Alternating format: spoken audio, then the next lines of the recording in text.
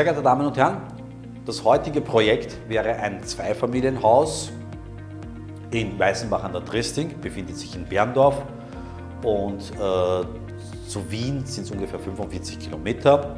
In Leobersdorf hätten wir die Autobahnausfahrt.